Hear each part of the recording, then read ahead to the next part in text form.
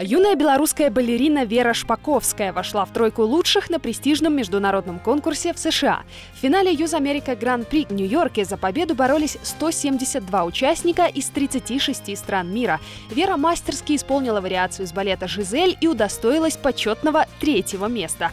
Слову, в 2016 году талантливая артистка блистала на сцене первого сезона детского телевизионного конкурса «Талент краины». Тогда победу в нем одержали юные пианисты Никита Шестаков и София Курлович. Я пребываю в удивлении, в приятном шоке от того, что эта маленькая хрупкая девочка совершила подвиг. Я прекрасно знаю, как это сложно, как это тяжело в 9 лет на пальцах станцевать такую балеринскую, сложную техническую вариацию. Когда я вырасту, я буду, конечно же, балериной. Это уже точно.